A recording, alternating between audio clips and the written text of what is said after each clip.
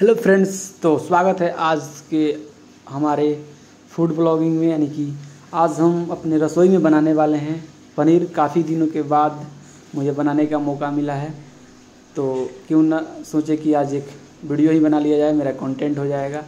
तो सबसे पहले मैं 250 ग्राम ये पनीर जो है उसको काट लिया हूँ, और एक टमाटर और एक प्याज, और उसके बाद ये फ़ौरन के लिए मिर्च और लहसुन, और गैस को जलाते हैं, और उसके बाद कढ़ाई गर्म करते हैं, और उसमें ऑयल डालते हैं और हॉस्टल में खाते खाते मन उब गया है, बिना फ्राई किए हुए पनीर का। तो सबसे पहले हम पनीर को फ्राई कर लेंगे। तो आइए सबसे पहले पनीर को फ्राई करते हैं। तो पनीर को तब तक फ्राई करेंगे जब तक दोनों तरफ़ से थोड़ा थोड़ा लाल ना हो जाए। तो मेरा पनीर पूरा अच्छी तरह से फ्राई हो चुका है और इसको बाहर निकाल लेंगे और फ़ौरन देंगे। केवल मेरे पास लहसुन और मिर्च है, उसके अलावा कोई फ़ौरन नहीं है, ना जीरा, ना गोल मरीच तो आइए इसी फ़ौरन पे हम बनाते हैं। काफ़ी दिनों के बाद मौका मिला है, बहुत अच्छा लग रहा है। खाना बनाने में हमको बहुत ज़्यादा मज़ा आता है। तो गैस अब इसमें प्याज डाल दिए हैं और उसको दो मिनट के बाद, भूनने के बाद इसमें टमाटर डाल देते हैं। और टमाटर प्याज को अच्छे से मिक्स करेंगे। और इसमें डालेंगे अब नमक।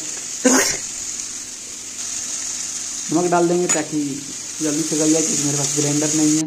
तो इसको अच्छे से पेस्ट बनाना है, जिसकी वजह से पहले ही पानी डाल देंगे ताकि ये थोड़ा बॉयल हो जाए और उसके बाद जाके इसको गलने में और आसानी हो जाएगी। और इसमें डालते हैं हम लहसुन पेस्ट और अदरक पेस्ट।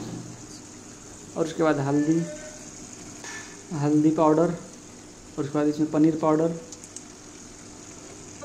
पनीर पाउडर के बाद मिक्स मसाला और बस यही मेरे पास टोटल तीन मसाले हैं। तो उसी से ये आज काम चलाते हैं। और पानी में ही डाल देंगे ताकि साथ साथ पकते रहे। तो और अच्छा होता है क्योंकि मसाला जितना अच्छा पकता है, उतना खाने में इसका स्वाद बढ़ता है। तो आठ से दस मिनट के बाद देखिए इसका कलर कितना झक्कास, यानी कि खूबसूरत आ चुका है। और उसके बाद अपने आवश्यकता अनुसार इसमें ग्रेवी डाल देंगे। और ग्रेवी डालने के बाद पाँच मिनट तक इसको ढक के रखेंगे और उसके बाद फिर निकाल के इसमें पनीर डाल देंगे।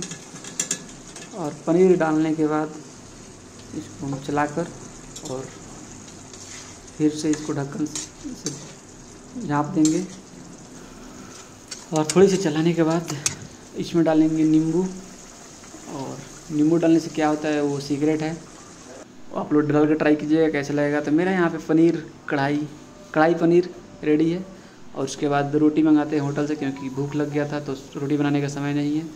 तो आइए, अब इसको पनीर के साथ रोटी से खाते हैं। आज के ब्लॉग करते हैं पे समाप्त। मिलते हैं नेक्स्ट ब्लॉग में। तब तक टेक केयर बाय बाय